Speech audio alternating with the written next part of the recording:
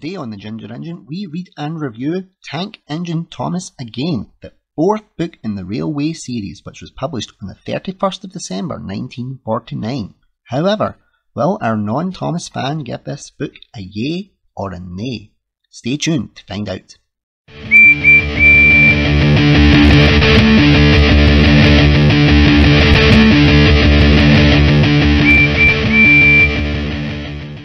Welcome aboard the Ginger Engine. First of all, we need to check your tickets. And how do we do that? By hitting that big subscribe button and ringing the bell to be notified about our latest videos. We'll always be sure to keep the trains running on schedule. So, my fellow steamers, you've noticed something different. We are actually have faces. What you can see is this doesn't often happen in the Thomas community. We actually get to see the people doing the work. So, we thought we would take the, the game up a level. We're starting off with your driver, which is myself, Andrew Durning. And we have our fireman, which is Thomas Lawrence. And we've also got our railway inspector, Mathew Hill. Now, we like to be very honest with our audience members, and we have to say that unfortunately, uh, our very important passenger, Fran Gilmartin, has had to pull out of the show for personal reasons. Obviously, she's welcome back anytime she wants, whenever she feels ready to come back. We love you, we miss you, and hope things get better soon. But we still have to have some female representation. We don't want a total sausage fest. That is why we have brought the very lovely, talented radio presenter from Sunny Govan Radio, Susan Sutton. Su- Susan, thank you so much for coming on well, and being part of this insanity. I like insanity. I think I think we all like insanity and fairness. Um, so aside from the fact that I'm paying you, what what what made you want to come on this? aside from the aside from the money. I like to go on jour- mystery journeys a hmm. lot, and this is definitely going to be filled with mystery because I haven't got a clue what it's all about. Don't worry, neither did Mathew. Letting now he's three books in and going, why did I agree to do this? well, I'm sure Mathew will keep you right going, right, he really is this nuts. Well, but trust the me, confusion's only going to get worse. yeah, but it's going to get a lot worse. But I really appreciate coming on. Thank you so much for being to You're do it. welcome. We also have another member of our little steam team, what the good one, not the the shitty Sharon Milway one. It is a, uh successful actor, Callum Knight. Callum, Hello, how you doing? It's good to be here. I love how you just like did the mic. It was like, hello, hello. Hello, I'm- thank, you, thank you very much, ladies and gentlemen. Typical actors sort of. And he's got the. Elvis haircut, so he's allowed to. yeah, Aye, that, I know, and that's something that, I, that I've noticed. You're good looking and you're a Thomas fan. Well, we've got two good looking Thomas fans. That doesn't happen. This is like Bigfoot riding a unicorn.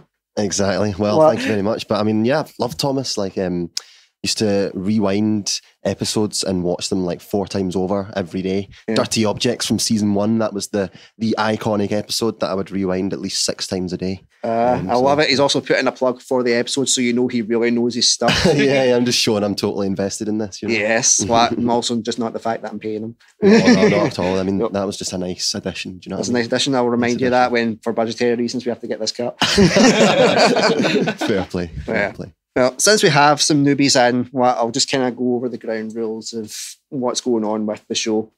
What, uh, well, obviously, our audience will know about this, but it's just for just for our, our new passengers. Now, I'm a massive Thomas fan, and I used to get bullied a lot because I like Thomas the Tank Engine. Like Thomas can attest to that as well.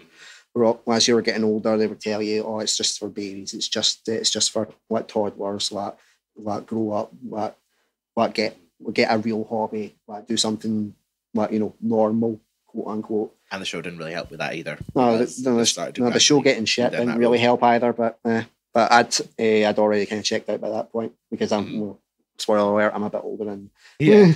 Well, so, well, because I got bullied a lot for it and just hid it all. Well, I had to hide all my uh, videos and all my yeah, all my trains. Now I realise how much they're fucking worth. I wish I could go back and slap myself. Well, but yeah, when you're that age, you want to try, you're trying your best to fit in, even though you're a big fat ginger kid. Well, that wasn't going to happen anyway. well, so I got rid of it all, and I felt really guilty about it. And it wasn't until uh, an ex of mine got me. It was a, a classic Thomas Hornby train set for my birthday, and I was so happy to get it. And I was like, you know what, I'm going to keep this good. And I got kind of back into my love of Thomas again, but it felt really like a really insular hobby. And I felt really alone because it wasn't like you know social media wasn't really a thing at that point. But it was just it was still kind of in its infancy. I felt like it was like it was like a, a dirty secret. Yeah. Well, most people have porn. Mine, mine was Thomas. well, I was like, I was like, I actually, I actually felt more relieved when my dad found porn under my bed than when he found my Thomas train set. It was horrible. Well, so uh, it just felt it, it was really isolating, well, and I always felt really sad. But and it wasn't until um, well, I kind of started re-embracing it a bit more, and then social media started getting a bit more active. I was like, I'm gonna do a couple of wee videos on my own YouTube channel, like oh, top 10 best and worst Thomas engines. Why not? I'm bored, I've got nothing to do. Why not? And the response I got was unreal. I mean, you get three death threats, you know you've hit something. so I kept doing them. And through doing these videos, I found out there was actually a really large Thomas fan community, not just like, you know, babies and toddlers, but like adults, like grown men and women like, like all around the world. Yeah. And when you start reading the books again and you start watching like the early series, but there was a lot more in it for adults than there was for kids. And I just started kind of thinking to myself, I wonder what would happen if we got some normal people in who, who don't really know much about Thomas, or know of it, but don't know the premise of like the railway series books, don't know about like, you know, all the stuff that like we would know about Reverend W. Awdry, like his um, railway accuracy and all that kind of stuff. The stuff that he was trying to do for adults to keep them invested in the stories. And I thought, well, why don't we try it and we'll do what we'll read the books, we'll go through, do a bit of narration, and then we'll have a wee discussion afterwards and do a wee kind of learning segment that I got from one of the Thomas fan community, Luke Bayram, who is like the the Irish wizard of, of Thomas knowledge, who knows like everything about like what type of class of engines to what uh, when its stories were set, etc., etc. Thomas, you've you've obviously got to know Luke as well. You know what he is like an encyclopedia. He is he is Rain Man. He yes. is the internet. He is the internet of Thomas. He is Thomas Wiki. Yeah. He's well, Reverend reincarnated. well, well, let's let's not let's not insult the Rev. well, and thought we could do that and then have a wee review, see what we thought of the books, and then we uh, try and establish if Thomas really is more than just a kids show we because the Thomas fandom think it is. Normal people think it's just for babies. Grow the feck up. And even if it turns out that it is just uh, what the tally up and goes, oh, it's just for kids. At least maybe it's a wee bit more knowledge, a wee bit more kind of insight into the world that the Reverend W. Awdry created, because this is more warm than fucking Middle Earth. well, I'll tell you, it's crazy. So I thought, well, there's there's only one way I'm going to get normal people to do this: money. so yeah, so I so I was getting the studio anyway. Thought, well, you're getting paid, so I'm just going to bring you in. well, um, Fran had a holiday coming up. Sadly, now she's had to well, depart. But you, Susan, when we were talking on my show, that Mental Gender show, please like and subscribe. but uh, you were talking about how when we were in the industry, getting paid work is a bit of a it's it's hard to get very much so. Well, uh, their idea of you know food and catering is a bottle of water for twelve hours and a mm-hmm. tap. Mm-hmm. Well, so I thought, well, let's get let's give Susan a paid gig, something that she can put on her on her CV. Same with Callum as well, who's just coming up in the industry. Yes. Well, and obviously Thomas as well. Well, so yeah, um, I'm going to need a lot of funds donated, guys. Like, if I want to keep this going, I'm going to be setting up like spreadshirt and stuff as well. Just don't tell Mattel, will you? That's a wee inside joke. And funds so we can get funds for trains as well. Yeah, yeah. These are from my own collection, guys. What and yeah, and internet. Before you say anything, yes, I know Donald's buffers are missing. Don't expose your kids to it. Fuck you. Hmm.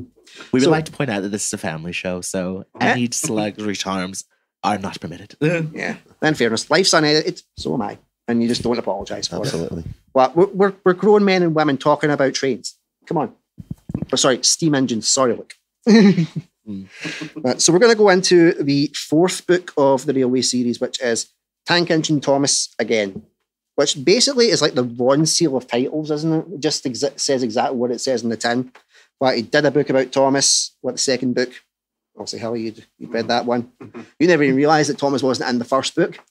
Uh, it didn't make sense to me. I thought it was Thomas the Tank Engine. There's Thomas then. Yeah, yeah. And then we realised that obviously Thomas just became the marketable character. So yeah, it just revolved around it. And that's what happened with this wee blue tank engine. People just were like, oh, give me more Thomas, give me more Thomas. So we went, I guess so. We'll give you another book of Thomas. It was that unique idea, wasn't it? You had something unique, you had something visual that everybody could sort of, you know, like at the minute you seen Thomas, you know, it was a straight away you knew what you were in for, and that Mm. way he didn't really need to come up with any fancy titles for, Yeah. you know, future stuff. So it was Yeah. all just in the stories, in the pictures. You Yeah. know, I just loved finding out that it wasn't actually the Reverend that created Thomas. It was his Uh-huh. son, Christopher. no way. What? Because he did, he'd what, tried to do a model of Gordon, what, but couldn't do it from a piece of broomstick. So he made a wee tank engine, what, and Christopher called him Thomas. So, yeah, what, Christopher really should be getting all those royalties, Yeah, just shows you you should never discard an idea. You know what I mean? Just especially from a kid. exactly. Well, because he would have only been, what, like four or five at that point. What, my kids can barely pick their nose and they're almost four. or at this recording, they will be four. Happy birthday, boys. Loves silly acting exercise that my lecturer gets me to do is uh, just write a daily page every morning, just like write thoughts down on a piece of paper, and then you come back to something like that, you read something, and you realise, oh, that could be like a good idea for a, a project, a play, or Yeah. a film, whatever. You know, it's just stuff like that. And, It's also the thing where, like, even if you run out of thoughts, you just have to keep writing. I am writing. I am uh, writing yeah, until. even, even if it is you're just writing, I am writing. you know? nice to know some things never change in college courses, Exactly, especially in the acting performance side. And that's why so many of us fail. No Not such thing as failure. It just means you haven't succeeded yet. There we go. There we go. The voice of experience. Yes. What? Susan Sutton, right there. Perseverance. Yes. Perseverance. Your there we motivation. go. Way. Your Hey. motivational quote of the day. Yeah. that's why. That's why we need like, a female representation. Well, because we'd all just be like, "Life's shit." well, she's like, "No, it's only just a small shit."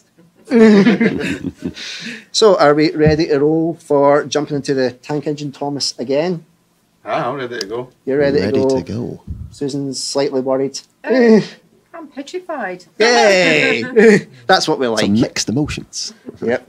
And obviously, I know you guys are ready. Thomas is the Yes, chameleon, the man of many absolutely. voices. Absolutely ready. Well, I'll be Let's interested this. to hear all of your accents and voices as well, Callum. Yes, I've been. Uh, I've developed every accent in the world Hey. into my repertoire. Yes. I oh. lie. and I'm just here to just facilitate the madness. Yes. So, let's dive into Tank Engine Thomas again. Dear friends, here is news from Thomas's branch line. It is clearly no ordinary line, and life on it is far from dull. Thomas asks me to say that if you're ever in the region, you must be sure to visit him and travel on his line. They will have never seen anything like it, he says proudly. I know I haven't. The author. Thomas the Tank Engine is very proud of his branch line. He thinks it is the most important part of the whole railway. He has two coaches. They are old and need new paint, but he loves them very much. He calls them Annie and Clarabelle. Annie can only take passengers, but Clarabelle can take passengers, luggage, and the guard. As they run backwards and forwards along the line, Thomas sings them little songs, and Annie and Clarabelle sing too. When Thomas starts from a station, he sings, Oh, come along, we're rather late. Oh, come along, we're rather late. and the coaches sing. We're coming along, we're coming along. They don't mind what Thomas says to them because they know he is trying to please the fat controller. And they know too that if Thomas is cross, he's not cross with them. He's cross with the engines on the main line who have made him late. One day, they had to wait for Henry's train. It was late. Thomas was getting crosser and crosser. How can I run my line properly if Henry is always late? He doesn't realize the fat controller depends on me. and he whistled impatiently. At last, Henry came, Where have you been, lazy bones? Asked Thomas crossly. Oh dear, my system is out of order. No one understands my case. You don't know what I suffer. moaned Henry. Rubbish. Said Thomas. You're too fat. You need exercise. Lots of people with piles of luggage got out of Henry's train, and they all climbed into Annie and Clarabelle. Thomas had to wait till they were ready. At last, the guard blew his whistle, and Thomas started at once. The guard turned round to jump into his van, tripped over an old lady's umbrella, and fell flat on his face. By the time he had picked himself up, Thomas and Annie and Clarabelle were steaming out of the station. Come along, come along. Puffed Thomas.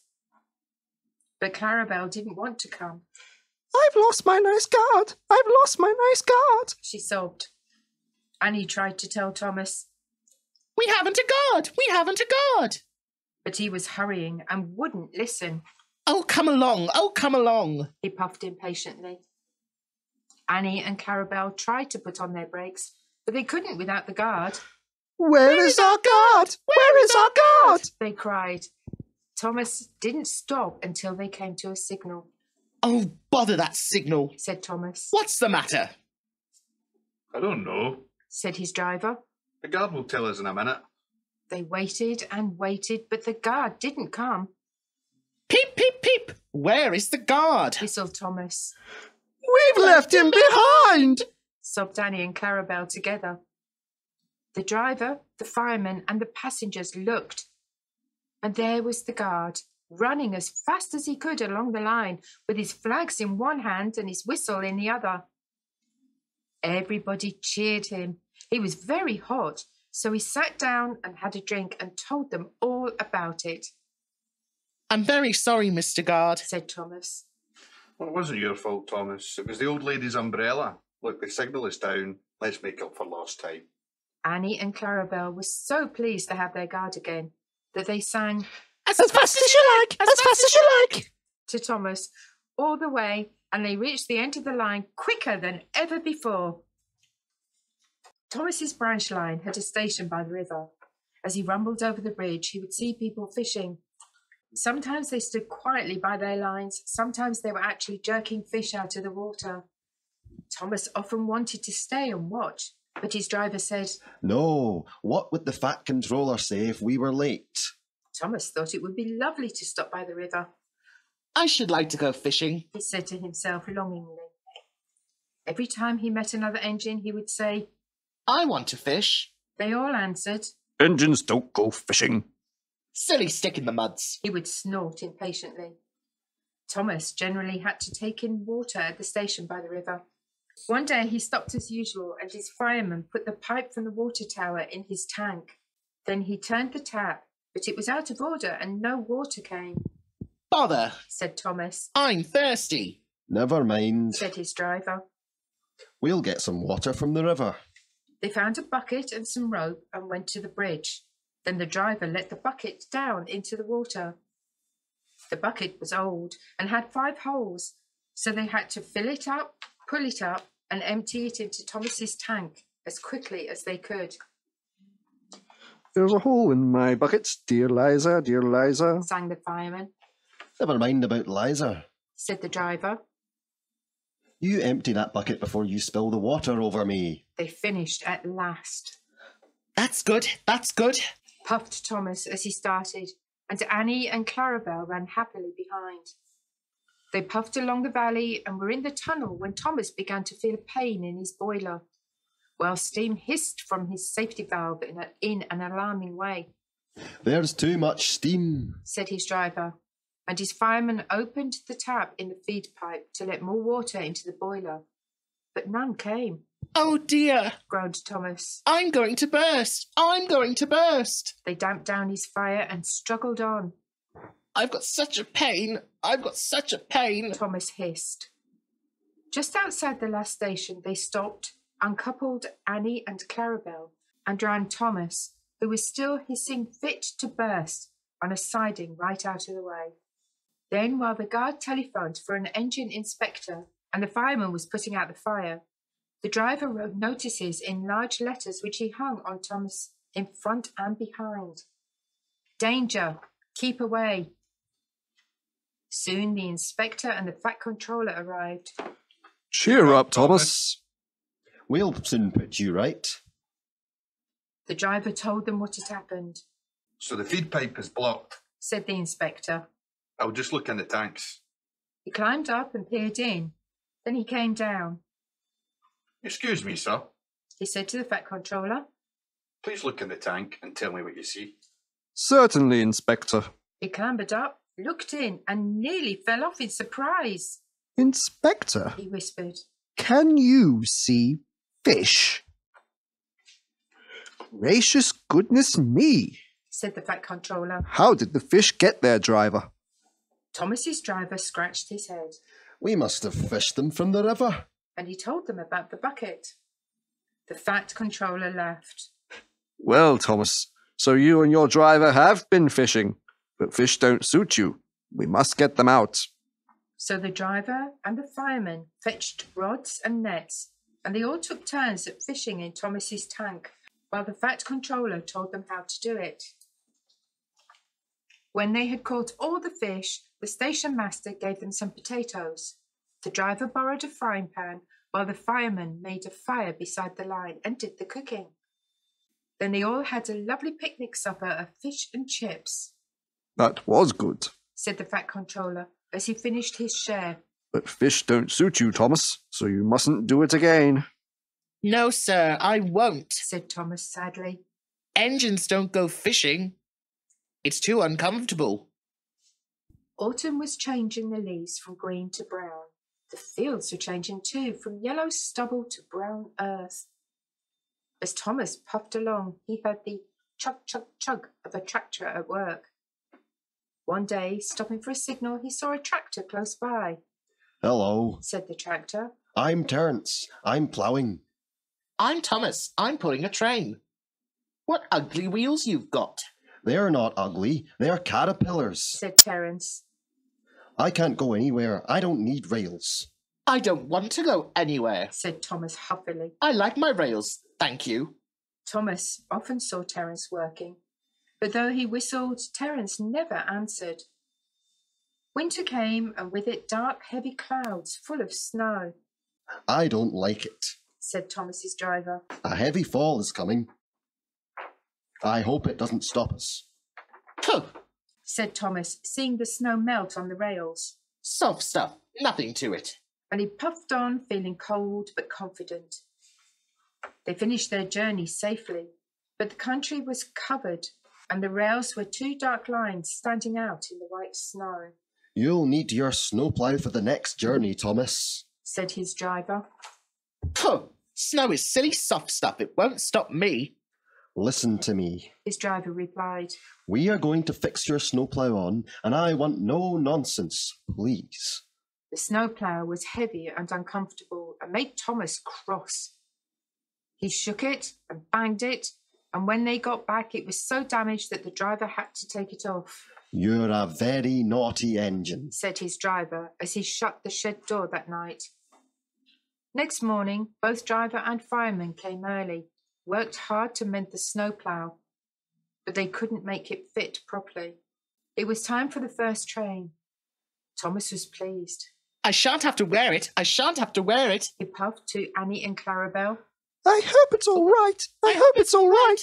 They whispered anxiously to each other. The driver was anxious too. It's not too bad here, He said to the fireman. but it's sure to be deep in the valley. It was snowing again when Thomas started, but the rails were not covered. Silly soft stuff. Silly soft stuff. He puffed. I didn't need that stupid old thing yesterday, and I shan't today. Snow can't stop me. And he rushed into the tunnel, thinking how clever he was. At the other end, he saw a heap of snow fallen from the sides of the cutting, Hm, Silly old snow. said Thomas, and charged it. Cinders and ashes. Said Thomas. I'm stuck. And he was, Back, Thomas, back. said his driver.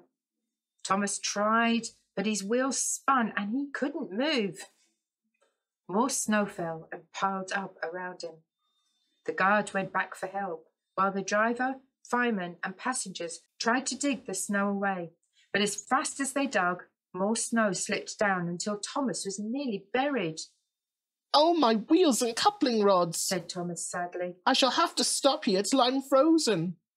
What a silly engine I am. and Thomas began to cry. At last, a tooting in the distance told them a bus had come for the passengers. Then Terence choked through the tunnel. He pulled the empty coaches away and came back for Thomas. Thomas's wheels were clear, but still spun helplessly as he tried to move. Terence tugged and slipped and slipped and tugged and at last dragged Thomas into the tunnel. Thank you, Terence. Your caterpillars are splendid. said Thomas gratefully, I hope you'll be sensible now, Thomas. said his driver severely, I'll try. said Thomas as he puffed home. One day, Thomas was waiting at the junction when a bus came into the yard, Hello, said Thomas. who are you? I'm Bertie. Who are you?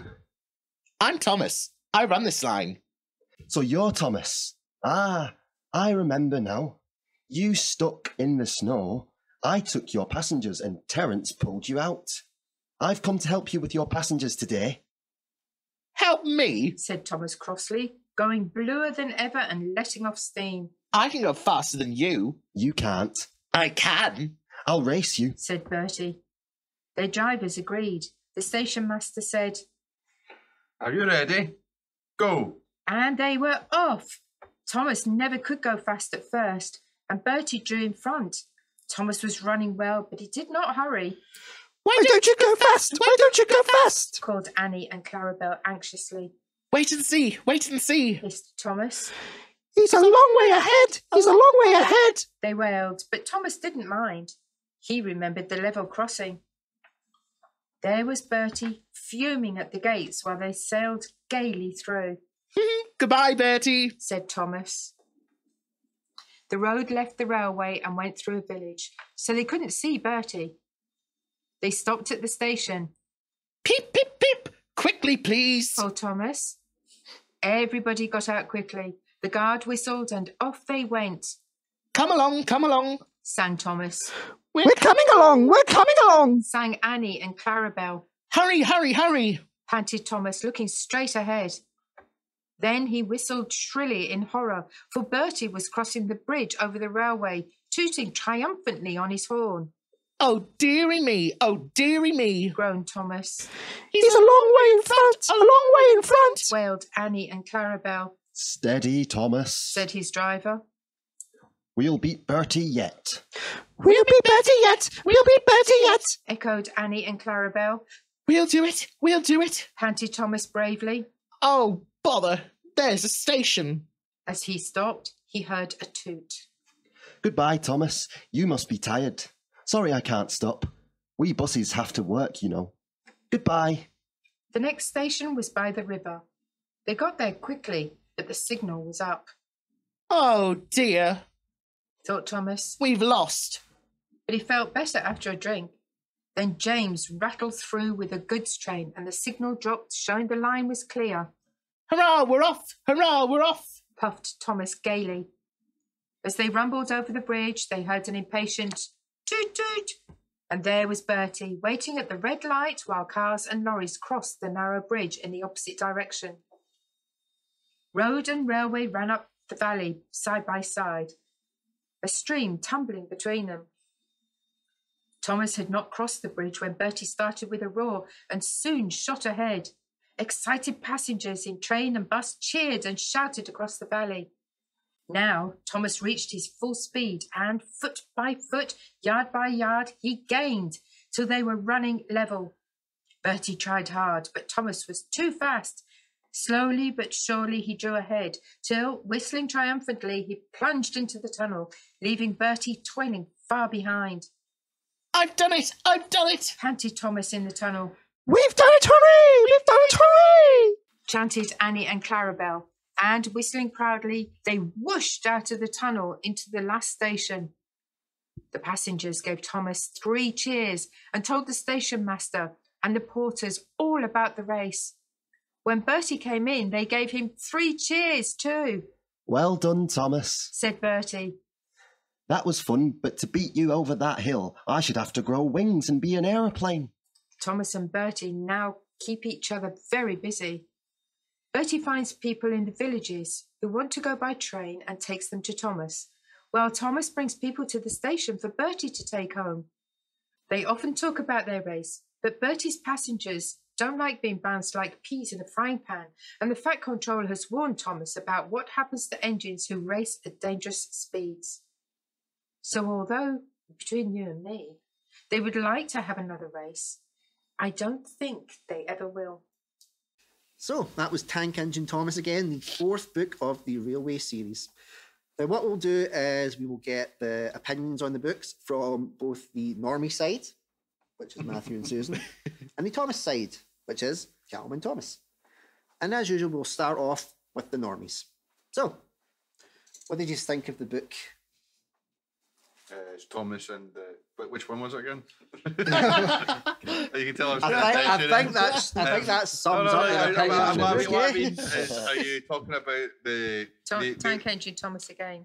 yeah, but then there's like the four books inside that, isn't there? Yeah, there's so four we talk story- we're on Yeah, well, I've mentioned the book, and there's four stories in the book. So we talk about the book, and book you talk about whole. it, and you talk about the book as a whole. Any stories? the- You've the- been around for three Right, of right, these. right, You right, should fucking down, know. calm down, down. It's because I'm like looking at this and this is a different one. The nerds Pressure. are going to be so pissed off right now. Right, well, you, you can cut this. No, Um, no, definitely not. Fix it I'm already featured in enough of the blooper reel. that should be my main star role, just bloopers. Um, no, I think I, I think it wasn't quite as um, adult themed as some of the previous books. Like the previous books, as I say, were kind of talking about maybe some darker themes. Yeah, I think these still have good morals in them, but I don't know if they're as like dark or you know they're not talking about the private privatization of the railway and things Yeah. like that. Yeah, or, or Um, essentially breaking up engines and leaving the. Yeah, yeah. It's Yeah. not quite as dark as all that. Um, it still has a wee bit of that. Do you know what I mean? There's like a, a wee bit in all the books so far where there's like a kind of almost like a school kind of mentality of laughing at people's misfortune and stuff like that. so like when the guard trips up in the umbrella and stuff like that, there's kind of if you get with that kind of Yeah. slapstick kind of uh, humor. Um, which is maybe like a little kind of dark note to it sometimes. Do you know what I mean? Because maybe nowadays we we would think of some of that is like bullying and and things like that. Um, yeah, yeah. Everything's cancel culture these days. yeah, yeah. um, and I guess maybe people are maybe, people are more sensitive, or if it's just a different world or whatever back then. Um, but I still don't feel like they're as dark as like yeah, getting bricked up in a tunnel and left to, to rot. yeah. um, that that's pretty like grim for a, a kid to be Yeah. hearing. Yeah, it's pretty. But I think these are more in line with what a, a kid might be expecting from Yeah, yeah. most, Like a, most kids' media. Do you know what I mean? There's like kind of a moral to the stories and a, a, a like a you know like a fable that has a a, meaning behind it or whatever. Hmm. Um, but I don't think it's quite as um, layered, if that makes sense. Do you know what I mean? Where before there was like there's like the kids' interpretation of it and then the adult interpretation. These seem a bit more like on the money, if that makes sense. yeah. Straight down the line. Hey, we got a good Thomas joke in there. right, well, Susan, you were doing a bit more of the narration, and aside from double entendres, what uh, that you were laughing that you were laughing at in the outtakes, what did you think of the, the stories like, from from reading it? Well, it's not my fault that there were double entendres in there. That's down to the writer. yeah, the, the poor Reverend had no, what would have had no idea about any of that. What that we were interpreting, what you know, chugging in our twenty first century analogies. Yeah, put it, put him slipping the pipe into into the tanks and things like that. Yeah. I mean, for, for that, for adults reading it, definitely there's um there's a lot of double entendre in there. Yeah. Absolutely. But I've just got a mucky mind anyway. Uh, yeah, in fairness, you get, well, right, life just corrupts you. Yeah, yeah. No, I corrupt life. But what do you think of the stories in general? Um, I mean, I like the stories. Um, you know, going back years to the the originals and everything else, it, it was it was for kids. But I think as you get older, you can see a lot more meaning in the stories. Now, I haven't haven't read the previous ones that you were talking about. Um, I think bricking a train up in a shed is really cruel. Uh, breaking them up in the tunnel and just The leaving, just leaving them to die Why? Why it- did they do that? because he didn't like the rain. He didn't like the rain, so they just went, "Okay, right, you ain't coming out, you die."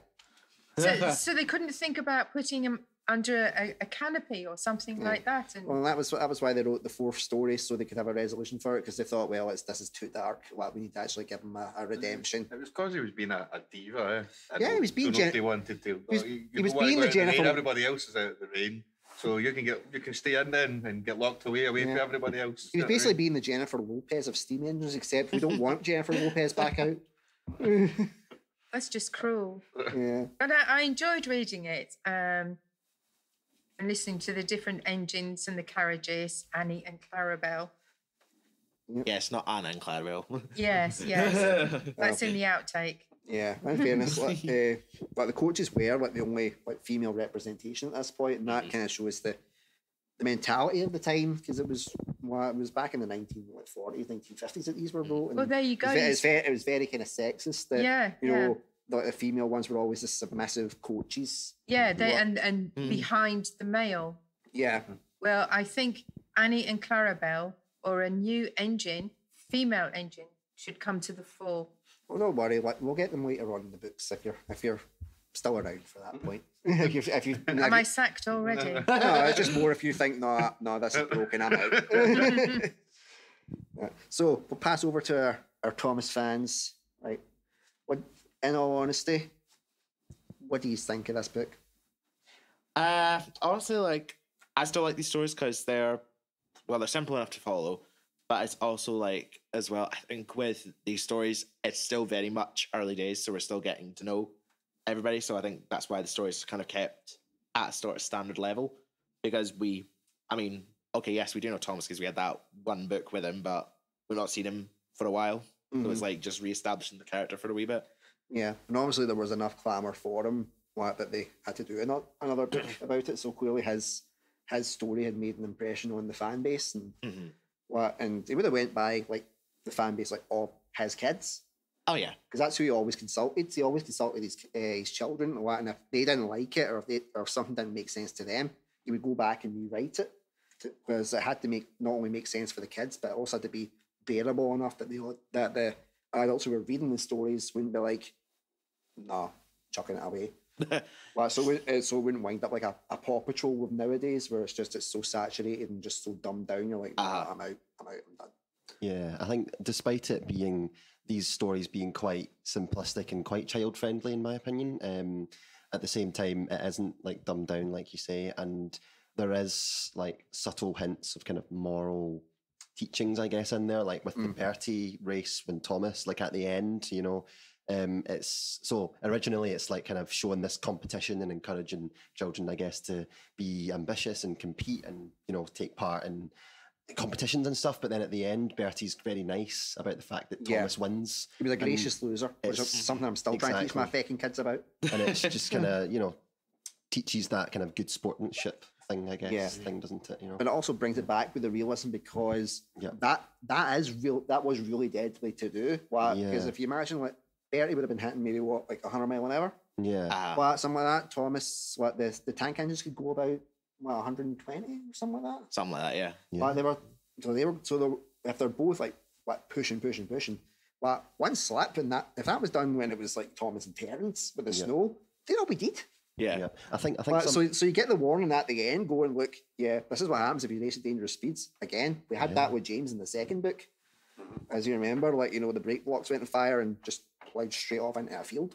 So it doesn't shy away from the fact that these are real engines and real trains, and there is Uh-huh. there is consequences. yeah. But I like the book because it's the first book where they actually introduce non-railway characters. Yeah. Up to this point, it's always been it's been Henry, Gordon, Edward, Thomas, James. They've all been railway based. They've all been coaches, trucks.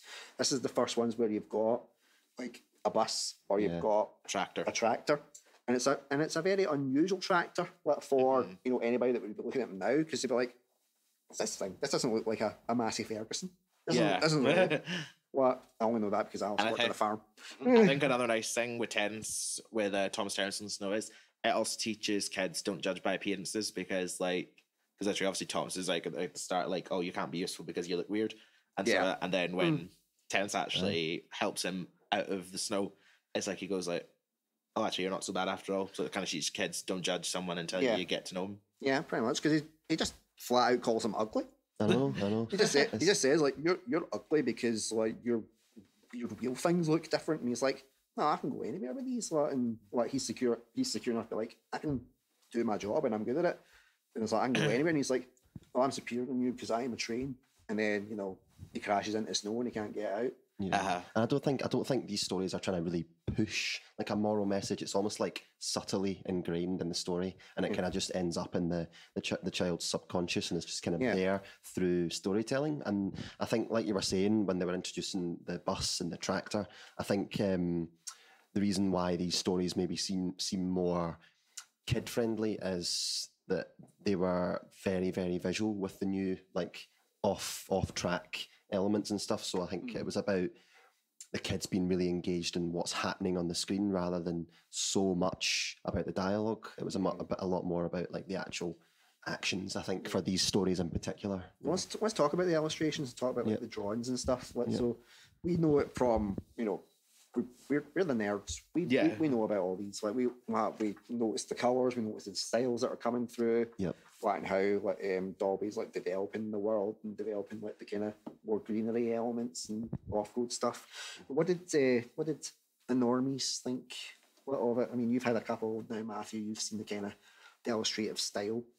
So is it still? Do you, have you noticed any kind of changes from it? Like maybe is that more of a an established style is starting to be imprinted now that Dalby's finally doing it on his own. I guess yeah, maybe it is a bit more consistent. I don't know if I would notice that if you hadn't mentioned it though. Mm. But yeah, they like you know looking at the book just now, yeah, but you can see it's a bit more consistent. Do you know what I mean? Um, but I think as you mentioned, it's kind of, as Thomas mentioned, it's kind of early days for the for everything, isn't it? So they're still establishing characters, Yeah. and maybe still establishing exactly how they want things to look, um, as as well. You know, what I mean? and there's probably an element there. Uh, like response, if that makes sense, depending on what books have been responded to better. I imagine probably kind of led, led them in a certain direction. Yeah. But it's, it's, it's a classic, still, it's classic Thomas Tank Engine thing. Do you know what I mean? Although I'm never a massive fan of anything like that, the Thomas himself is just kind of iconic. Mm. Um, so I, I, I, I, don't, I think I can see a bit more consistency, but Something that I found quite probably stuff I'm not noticing. Yeah. well, one thing I'll point out is that they're doing they're starting to bring in real life elements because if you look in the Thomas and the Guard illustration, but at this point here in the newsstand, he's actually advertising his previous book, James the Red Engine, which is quite. Uh, which is him bringing Quite in meta. some of his yeah his meta Deadpool. It's like, well, like, he's bringing the real world And also elements the new- in. And also the newsstand as well says all about Thomas the Grand Tank Engine. Exactly. So he's bringing in like real work. So he's starting to work in his real world elements, which is which he became famous for. But what about yourself, Susan? Would you would being new to like the illustrative style and all the kind of the artwork? What's your impressions of it? Um, I'm going to sneeze. That's the impression. Bless you. That was a very good impression. Like, oh, Bless you. Sorry. Thank you. oh, choose a kiss. Call that one in. I switch to skis. Here we are. Um, yeah, I like the illustrations. Um, oh, my stomach. She needs food, to people. yeah. Well, we won't be long.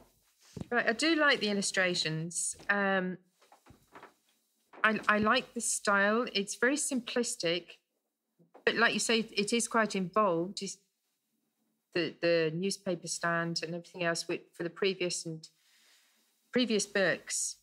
Um, the the pictures draw you in to look at more detail. It's not just the pictures, not just the drawings of the trains. There's there's all kinds of little details.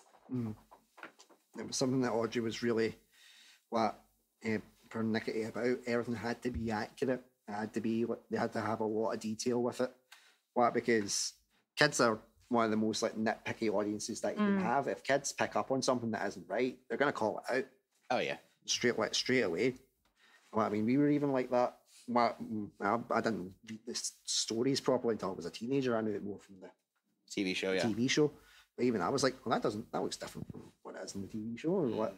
You, what they're they're inquisitive. They'll know about these type of things. Even the dialogue as well. Like some of the dialogues extended from what they did for the actual TV version of the story as well. yeah, definitely. You'd notice like differences what from that. I think a great thing to notice about the illustrations as well is it's not literally just a snapshot of um, something random. There's actually like a relevant or important like like situation happening in every photo. Yeah, I mean like- it's yeah, like- complementing what the story is telling essentially. Yeah, Like- like the like um, the Thomas and Berkeley ones. Like they don't just say oh, what um, you don't just say Thomas and Bertie are racing at a river, what, and they can see and they can see each other, and you're just seeing a picture of Thomas. You're actually seeing Thomas and Bertie. You're seeing the river, what where they're racing. You're seeing that Thomas is edging ahead. Yes, a, a direct relationship with Mhm. the story, Aye, with the with the words. Yeah, because the small books as well used to do that as well. Like, like Mm. on every page where there was like sort of a key element, that would be what the picture is for that page as well. So like, Yeah. for Bertie racing over the bridge on that page would be them actually showing it. Yeah, and those smaller books that that was the first what in that type of media where they would have a picture at one side and the story on what, on what the other side. Well, I was the first for doing doing it back uh, back in the day, so it was quite inventive.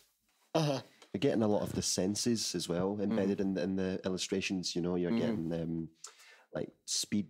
Uh, this, the, like there was ones with pictures of cows in it, so you're getting like you can imagine like the smell of a farm, Yeah. and then there's like the And even in Thomas dots Goes Fishing as well, like you you're know, getting yeah, that the, the, the engine can feel pain yes, as well. yes. Like, like he's basically essentially he's got trapped in. Yeah.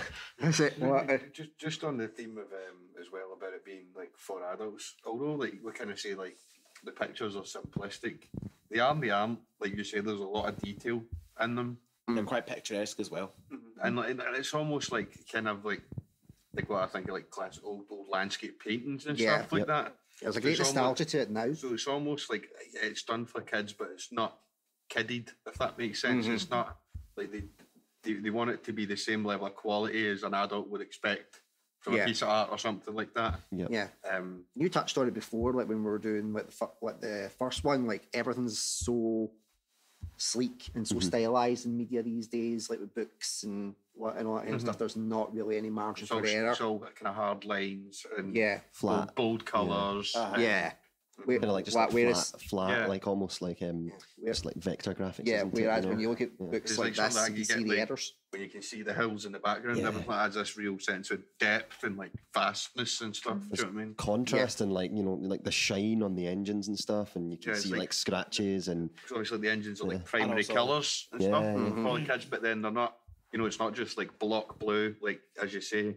There's shading and stuff being done. It's you know, giving it this kind of And also, yeah, space and lighting and everything. No, it's like actually that. the first time I've really noticed that Thomas is just primary colours. Mm. Why? Because he's Yeah. because he's, 'cause he's blue. Red, blue, he's and got yellow. he's got a yellow one and he's got red buffers. Ah. But I do think Fuck! that I, I just picked that up and I'm 35. yeah.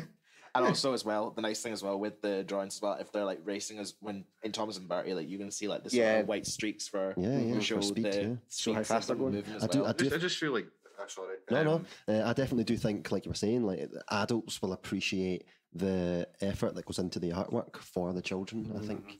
the craft, craftsmanship. Yes, the I just think, craftsmanship. like more modern, like you know, if you watch some cartoons on TV or something like that, I don't think the artwork is going to be as like detailed and high quality Mm. as that. Uh, it's what modern stuff is always what high quality because they've got the technology to do it. But everybody, well, Well, I mean, but everybody depends- does see it. de- depends what you call Yeah. quality, isn't it? yeah, I mean, well, it's it's everybody's interpretation. Whereas to me, this is quality because it's not perfect. yeah, yeah. Well, and that's the way it should be. So like- someone's taking like It's like it's like you go, oh, his face is these gr- his face is Ah. grey there, but his face is a slightly lighter shade of grey there. But these are little things that you know it would all be consistent across the board. Yeah. But with with with modern media and Yeah. modern like But life isn't perfect. exactly. Yeah. Yeah, with with animation these days, it's all like you know completely perfect. isn't it? Yeah. There is no like contrast or Yeah. um, you know Kinda like, makes it hard edges. You know, it's soulless. just do, you know, Yeah. do you know what I all, mean? yeah. Yeah. yeah. And one thing that always makes like Thomas really good is like finding out a bit of the backstories of where this came from. So I think this is probably a good time to jump into the learning with Luke segment. For the, the newbies that have joined us, this is where we get the Thomas Wiki, as I call him. What Luke Bainham has provided me with some uh, real life information that's based around the stories and based around the books. Well, so I took a couple of notes, what and what you know, the main the main things that kind of really struck me. So one of them is that um, the story of Thomas and Bertie, it wasn't actually originally intended to be a story. It was it was invented as a board game for his kids, well, and to amuse them while he was t- he took his kids on holiday to Wales. But they liked it, but so it got adapted into a story. And the reason that the Farquhar branch line was created was so that the race between Thomas and Bertie was deemed, you know, a fair race, but by the children, since both characters would have the same amount of obstacles to overcome, like they would have you know, Bertie stopping at traffic lights, like um, Thomas would be a slow starter, all that kind of stuff, which was really interesting to find out about. Imagine what a Thomas and Bertie board game would have been like. Mm. That would have been Exactly. mental. That would have actually been quite fun, to be Yeah, honest. my kids would have beat each other senseless. I feel like you know, like the old Scalextrics. Oh, Yeah, yeah, They go too fast and they just shoot off the track yeah. into some vase. And again, like I was saying, like reading the stories to his children, like became a trend because he would use them as his test audience. Hmm. Like, so if the kids didn't like what it was, he would go back, he would rewrite it, like, and then read it again until the kids went, "Yeah, I like it," which makes sense. That's your market. That's your target audience was the kids. But at the same time, it had to be relatable so that he would be able to read it back and go, "Yeah, I like this." 'Cause he's not just writing it for the kids; he's writing it for the parents who have to read these stories ten times over to the kids as a parent and as a parent. We can attest to that. Yeah.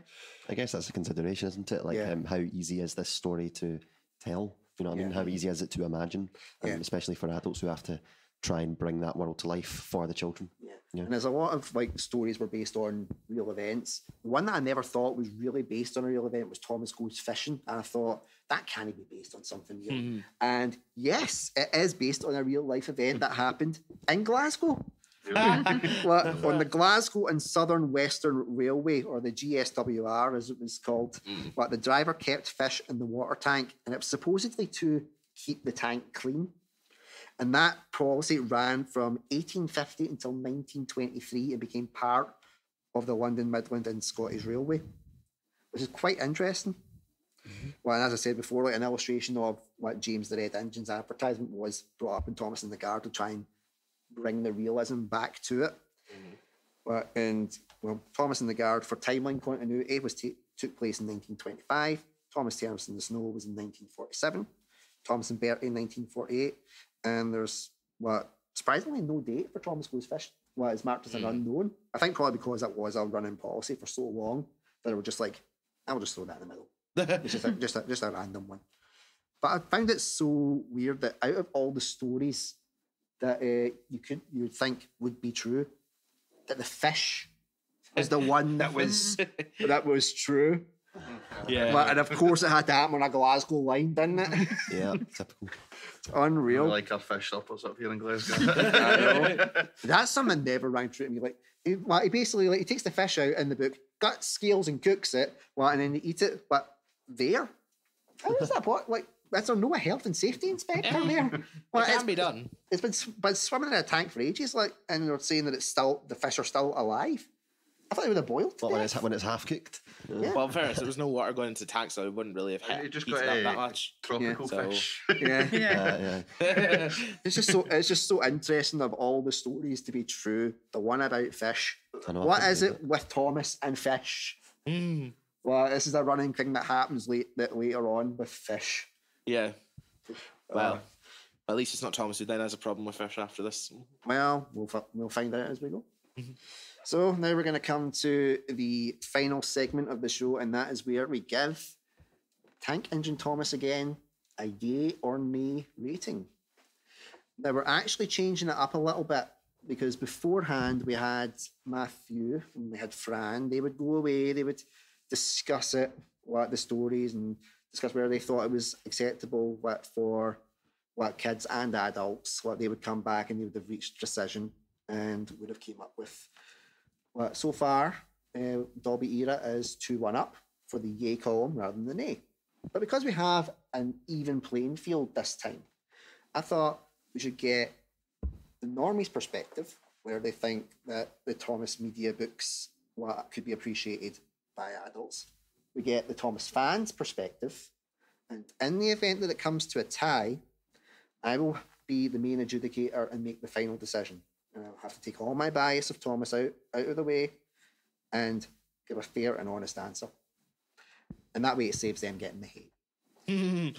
so we'll start off with Susan and Mathew. Uh, would you give Tank Engine Thomas a game a yay or a nay? Thumbs up or thumbs down? What do you think? uh, uh, and that, this, the question is: Is it suitable for adults as well as kids? Yes. Can it can it be en- enjoyed by people of all ages? I, I think so. Yeah. I think um, there's still, although I kind of said that it was a bit more straightforward maybe than some of the other ones, and um, I still think there's bits there for like adults to think about and stuff like that if they're reading it to their kids. There's going to be things that they're going to take from it that the kids won't necessarily take from it. Mm. So in that essence, there's definitely a part of it there that maybe even can only be appreciated by adults. That, that's what I was thinking. That adults, you know, as they're reading it, they can also take something from this, even though it may not be sort of in your face. Kids, being kids, want a story read to them over and over again. Mhm. So I think eventually adults would definitely learn things by this, like the race between Bertie and Thomas. You know, and then the kids, kids out in the the families out in the car going to drive somewhere, and the kids can turn around and say, "Daddy, do you remember the Thomas the Tank Engine book? You're going a bit fast." Mm. Yeah. And if they also, if they're driving, why they see a train next to them, they'd be like, race that train. Let's, ra- let's race that train. But then it's down down to the the driving adult, the responsible Yeah. one, to say, "Yeah, it was in the book, but we can't really Yeah. do it in real life." Well, so just- yeah, it's it's It's like, remember the warning about peas in a frying pan? yeah. So the, I, I think a yay. A Like, yay. yeah, yeah, yeah. Mm. Oh, we are one now up to the yay column. So now we jump to the Thomas fans side. Would you give Tank Engine Thomas again a yay or a nay? What do you think, Thomas? You're the most. You're the expert here. If anything, I- that maybe puts Thomas to a disadvantage because Think so? he, cause he might just go yay because he's a Thomas fan. But Well, you've got a bit more, more normie experience. I guess so. I'm kind of that kind of middle ground. Yeah, you're the wild card I'm on the in a- Thomas I'm in fandom side. I'm in a toss up. Like at the same time, like I totally, um, I'm on board with what was said about how adults could totally find value in it and using it to, you know, for for parental reasons and just for appreciating the effort and art that goes into making these stories. But I do think, particularly these stories that we read, are um, less heavy on the sort of political and moral elements and are just very much about visual storytelling and you know they are simplistic and it is about just engaging the kids with what they're kind of imagining and the pictures that they're seeing you know what i mean? Mm-hmm. There's, i don't think the dialogue is overly filled with like subtle political or moral mm-hmm. information. I think there is little things in there but i don't think it's top heavy with it. So um So you're, I'm in a le- so you're leaning more to say towards the nay. nay side, I think. i'm maybe leaning towards the nay side but i'll let um thomas input and we'll see in fairness, I do kind of agree with what Cam says a wee bit, but at the same time, it's like I think Alex could enjoy this book because yes, the stories might be a bit simple, but they're still readable for adults as well, and as well as kids. So actually, I actually don't know. I think more of a yay to be honest, because There's a split in the Thomas camp. This is split. this is definitely Because I do- interesting. I do, think some of the future stories um, do kind of go down a more complex route um, Mm. compared to these ones. You think that's why more Thomas fans gravitate to the, the older books, so to speak, because it because it goes down that route. Because because the books grew up with the audience. They were wrote over twenty seven years. So Yeah. the kids that had the first one read to them as kids were adults reading these stories to their kids. Yes. yeah, because I kind of agree with that as well. Because like as because I think after this book, this was like sort of the last of the sort of let's get everyone introduced book because obviously yes, we have more characters coming along with the rest of the books as they go on. But I do think as well, this is like the last of the sort of getting to know you episodes, pretty much. Yeah. Because then the rest of the books now, I think, are more like actual stories for characters we've already met, plus also while introducing new characters at the same time. So I do think that's probably why they more gravitate to this. But I think this is like a, ni- a nice little end to the getting to know you phase of the books. Yeah, I, I can I can agree with that as well, and I think um, just just like a thought that keeps going through my head is like, is there a reason that an adult would pick up this book purely for their own gain or purely for their own thoughts or for whatever reason? But I think it always kind of falls back to the young person, doesn't it? Like if they're going to pick up this book, they're going to be they're doing it, I guess, to read it to their child or to you know, I, I don't. I mean, I could be wrong. I mean, is, is do you think like Everybody's opinion I mean? is different. Do you think Every, every perspective's legit. So because maybe maybe adults would genuinely be because especially creatives, you know, they might be interested in picking up um, like children's books and trying to invest themselves in how they're written and how they're made, so that they can then do the same thing. So I guess there's that element to it. You know what I mean? Um, Yeah. So I think what I'm getting from both of you is this is a nay. What do you think? I'm, I think I'm If gonna. if you're thinking by the by the guides of yeah, could adults appreciate this? By appreciate, by appreciate, you mean like I, I guess like. So if I say nay, does that mean that adults don't like it altogether? Like Uh, it's just more a case of like an adult wouldn't wouldn't pick up the book, what just kind of for their own. Oh, I fancy reading this. I, I think adults will more read this for the nostalgia because obviously if the adults grew up with this when they were kids, I think that would be the reason they'd probably pick this up. To be honest, is for nostalgia purposes. I think purposes. that, that could be a reason, but I think there's, there's maybe a, a minority of that in my opinion. So Mm. I think I'm going to go with nay. yeah, yeah. I'll actually have to agree with you on this one, Callum. I think I'll go with an A as well. Oh, so the Do- do we- first, do we so have the to- first do we have one. to agree? Yeah, well, consensus is Yeah. key, but looks like looks like it's a nay from the Thomas side, okay, which is brilliant. interesting. So it falls down to me, the final adjudicating side, taking both arguments into consideration, and then trying to put my own personal bias out of the way. I have to agree with Callum Thomas Ooh. because it's. I, I will be perfectly honest. I'm not a fan of this book. I'm mm. not. Well, it's it's in the title. It's Tank Engine Thomas again.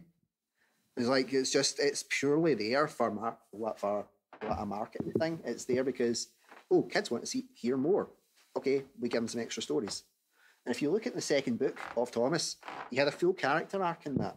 He went from being like the cocky little prick, and then getting his then getting his comeuppance, and then learning from it and growing, and from that hard work and changing his ways, he got the branch line as a result. So these books always these stories felt like filler. It was just like, oh, what's he been up to? We'll just add these ones in. But if you look at the later books, Thomas isn't really as Featured invo- much. What featured much. So he said what he needed to say about Thomas, and it, and was only really having to put him in As a side character, as a side character. What and we all know the infamous Thomas the Tank Engine documentary where he slates Britt Allcroft and all the ones that do the TV show because what they were obsessed with the popularity of Thomas that they were putting into a story, whether the story re- required him or not. Ah. It was just purely there's Thomas. He's got to be in almost every episode. wasn't the formula Britain that used they, that Thomas had to usually be in at least at some point during the opening episode Yeah. of a season? Yeah, he always had to be there or thereabouts. It A bit always, like Hitchcock. Mhm. Yeah. It He always had to be in somewhere. Yeah, and it's because like purely Thomas is the marketable character, but the whole thing that everybody loves about these books is that you get introduced to a vast array of characters. Mhm. What? Because I mean, look at look at my table for example. Does Thomas feature any part of like these models? No. Mm-hmm. It's all other characters that get, we get introduced as we go on in the series because we gravitated to them.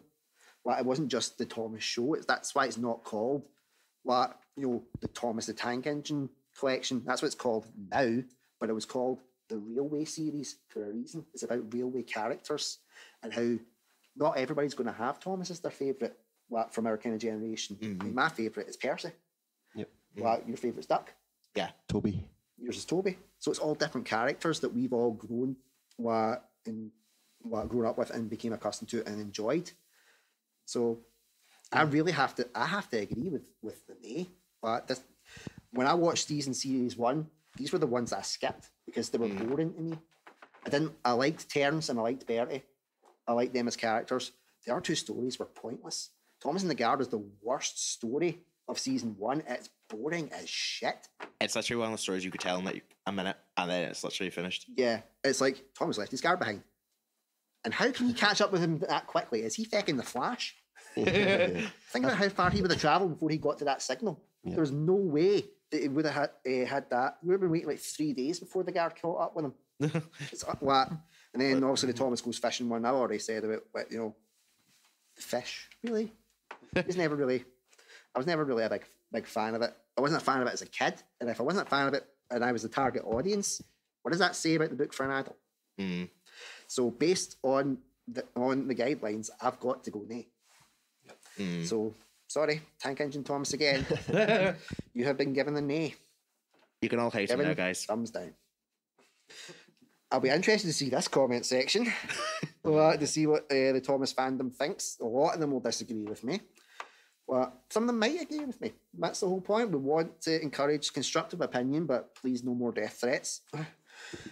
And yeah, um, I'm sorry. So we're two for two now. we're we're, we're in, in even steel, perfectly aligned line going into the next book, which is Troublesome Engines. Mhm. And I really have to put my bias aside because I fucking love that book. This Absolutely. is this is where the stories get interesting. Yeah, this is when the, the real politics start to come into it. I Here we go. Yeah. That's, that's it, the Scottish way of saying it. Here we fucking go. well, uh, we're looking forward to that one. I'll look forward to then. Yes. Oh, a lot to look forward to. Excited. Well, my, my favourite character gets introduced to Percy. well, well, thank you so much for being a part of the what the continuing madness and what obviously the newbies coming in to the fold. Well, I hope you come back for the next one for Troublesome Engines so I can get to see a bit more about it. If not, I can totally understand it's a bit of a niche kind of thing. well, I'll still pay you. Come Well, it's been it's been a pleasure. It's been great. I've really enjoyed myself. Thank you very much. How about yourself, Susan? It's been fun. It was um, it was better than I expected. I enjoyed it. That basically sums up my life better than expected. So Well- I'd heard. Yes, yes. yeah, Alison's been telling too many tales. yes, proof Thomas fans can actually get wiped. Yay.